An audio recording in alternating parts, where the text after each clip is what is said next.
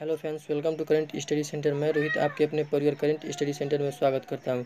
मैं इस चैनल पर डेली सुबह में करंट अफेयर्स की वीडियो अपलोड करूँगा। वीडियो अच्छा लगे तो वीडियो लाइक कीजिएगा, वीडियो शेयर कीजिएगा और चैनल सब्सक्राइब कीजिएगा। आज उन्नीस मई 2020 और उन्नीस मई 2020 से रिलेटेड जितने भी इंपॉर्टेंट करंट अफेयर बन सकते थे, मैं सारे इस वीडियो में डिस्कस करूँगा। तो चलिए देखते हैं आज का क्वेश्चन आज का पहला क्वेश्चन है हाल ही में भारतीय वित्त मंत्री ने भारत में डिजिटल शिक्षा के लिए कौन सा कार्यक्रम शुरू किया है? तो अभी भारतीय वित्त मंत्री ने भारत में डिजिटल शिक्षा के लिए ई विद्या कार्यक्रम शुरू किया, यानी कि इस क्वेश्चन का डी ऑप्शन सही है।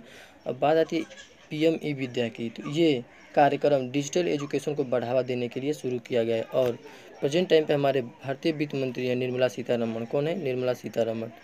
नेक्स्ट क्वेश्चन देखते हैं। नेक्स्ट क्वेश्चन आ जाता है। हाल ही में भारत ने किस देश को तीस हज़ार कोविड नाइन्टीन टेस्ट किट दिया है? तो अभी भारत ने नेपाल को तीस हज़ार कोविड नाइन्टीन टेस्ट किट दिया है। यानी कि इस क्वेश्चन का डी ऑप्शन सही है। अब बात आती है नेपाल की। तो मैप में देखते हैं नेपाल। ये है मैप में नेपाल। ये है नेपाल। नेपाल की कैपिटल काठमांडू है।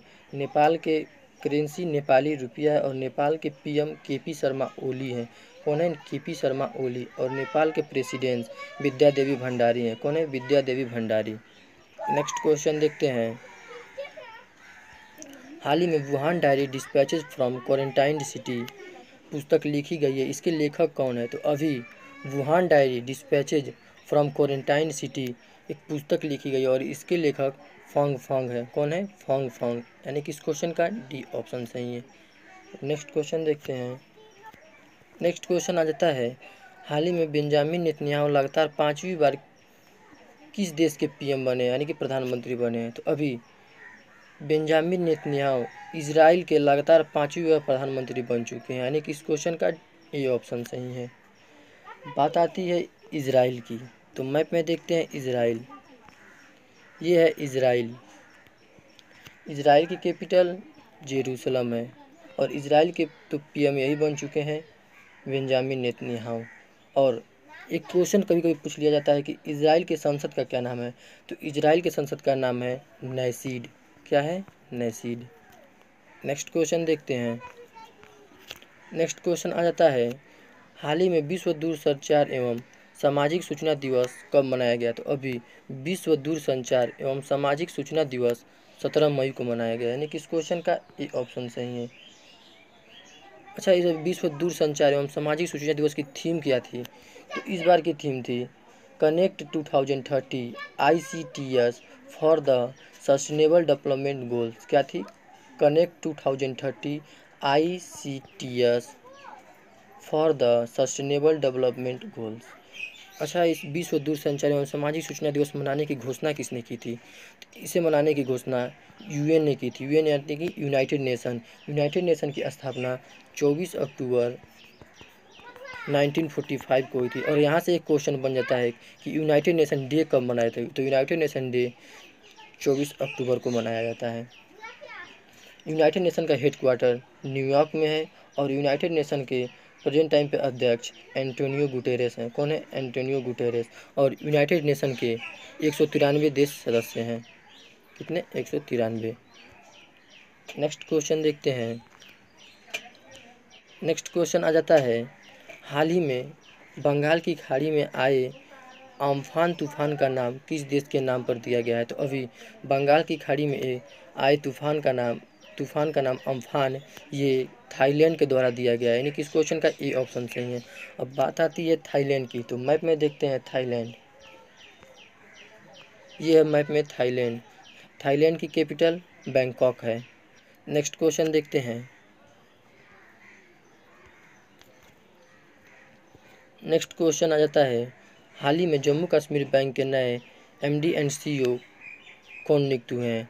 तो अभी जम्मू कश्मीर बैंक के नए M D and C O Zubair Iqbal नियुक्त हुए हैं। कौन है? जुबैर इकबाल, यानी कि इस क्वेश्चन का सी ऑप्शन सही है बात आती है जम्मू एंड कश्मीर बैंक की। जम्मू एंड कश्मीर बैंक की। तो जम्मू एंड कश्मीर बैंक की स्थापना एक अक्टूबर 1938 को हुई थी और इसका हेड क्वार्टर श्रीनगर में है। कहाँ है? श्रीनगर में। और भारत में जितने भी बैंक है, सभी बैंकों को आरबीआई रेगुलेट करता है। यानी कौन आरबीआई आरबीआई की फुल फॉर्म का क्या होती है? तो आरबीआई की फुल फॉर्म होती है रिज़र्व बैंक ऑफ़ इंडिया क्या होती है? रिज़र्व बैंक ऑफ़ इंडिया इसकी स्थापना एक अप्रैल 1935 को हुई थी। कब हुई थी? 1935 को। और इसका हेड क्वार्टर मुंबई में है। कहाँ है? मुंबई।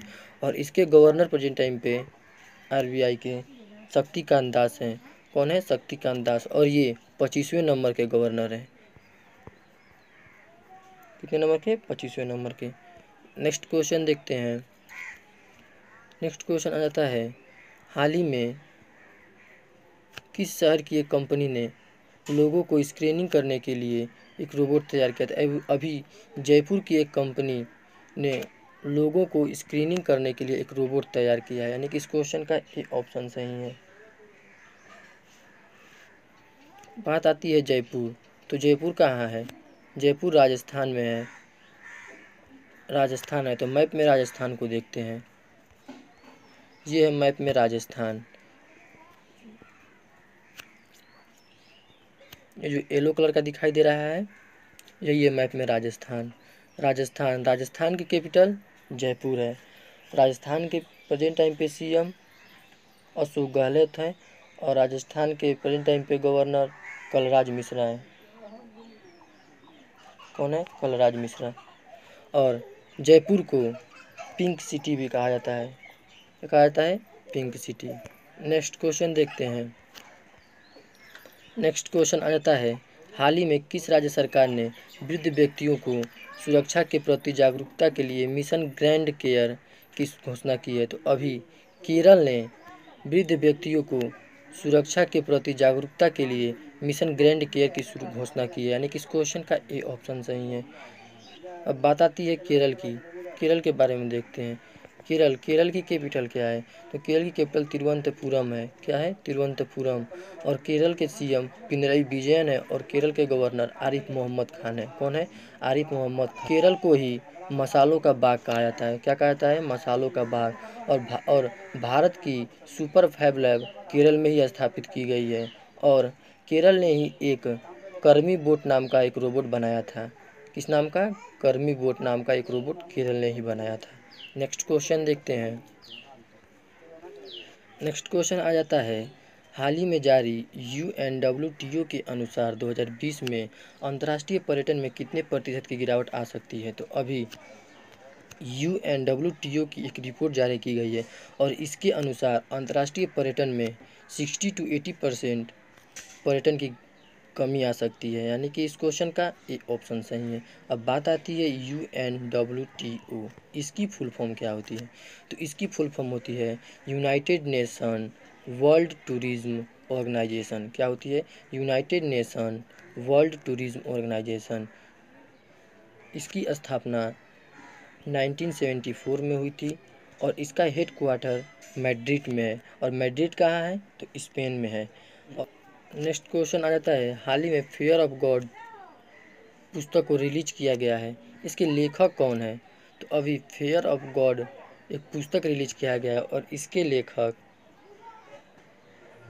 वधान है। कौन है? वधान। यानी कि इस क्वेश्चन का सी ऑप्शन सही है नेक्स्ट क्वेश्चन देखते हैं। नेक्स्ट क्वेश्चन आ जाता है। हाल ही में एडीबी के अनुसार कोविड नाइन्टीन की वजह से वैश्विक अर्थव्यवस्था को कितने अरब डॉलर का नुकसान हो सकता है? तो अभी ईडीबी की एक रिपोर्ट जारी की गई है और इसके अनुसार कोविड नाइन्टीन की वजह से वैश्विक अर्थव्यवस्था को पाँच हज़ार आठ सौ से आठ हज़ार आठ सौ अरब डॉलर का नुकसान हो सकता है। यानी कि इस क्वेश्चन का ए ऑप्शन सही है। बात आती है एडीबी की। एडीबी इसकी फुल फॉर्म क्या होती है? तो इसकी फुल फॉर्म होती है एशियन डेवलपमेंट बैंक क्या होती है? एशियन डेवलपमेंट बैंक और इसकी स्थापना 1966 में हुई थी और इसका हेड क्वार्टर मनीला में है। कहाँ है? मनीला और मनीला कहाँ है? फिलीपींस में है। और इसके प्रेजेंट टाइम पे हेड कौन है? इसके प्रेजेंट टाइम पे हेड है मसासगु अस्कवा। कौन है? मसासगु अस्कवा। तो ये थे आज के कुछ इंपॉर्टेंट करेंट अफेयर्स अगर आपको वीडियो अच्छा लगा हो तो वीडियो लाइक कीजिए, वीडियो शेयर कीजिए और चैनल सब्सक्राइब कीजिए।